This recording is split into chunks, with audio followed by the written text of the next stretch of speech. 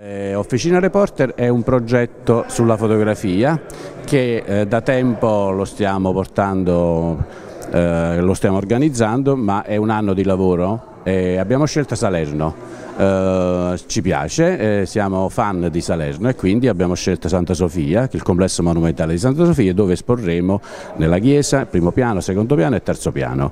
Um, che significa Officina Reporter? È un progetto di laboratorio per 43 giovani, i 43 giovani sono uh, tutorati da 12 professionisti e hanno, li hanno fatto lavorare su tutta la campagna, quindi sono usciti 43 progetti individuali, quindi è molto importante che un giovane, 20-25 anni, fino a 30 anni, vabbè ancora giovane, 30 anni, io sono un po' di un'altra generazione, ma eh, bisogna avviarli al, al processo del, eh, dello studio fotografico e quindi noi ci interessiamo di fotogiornalismo, però i 12 fotografi che, che hanno fatto i tutor sono completamente diversi tra di loro, quindi c'è moda, still life, eh, eh reportage, eh, inchiesta, quindi c'è tutta la materia del fotogiornalismo, ma intanto c'è tutta la materia del, della fotografia. Poi ci sono 12 fotografi internazionali, stiamo parlando di La Magnum, quindi la grandiosa dire, agenzie di, di Bresson. E ci sono degli ospiti che arriveranno da Milano, da Parigi, dall'America, arriva Lina Pallotta dagli Stati Uniti, quindi abbiamo un grande parterre però.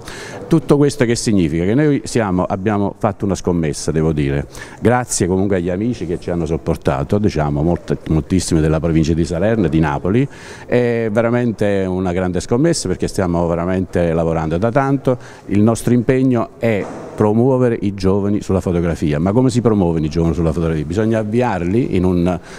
questo è un mestiere, cioè noi non siamo artisti, noi abbiamo il dovere di entrare nelle case in punta dei piedi e quindi la questione dell'informazione è una questione etica che noi ci teniamo tanto e vogliamo iniziare con 43 giovani campani. Grazie.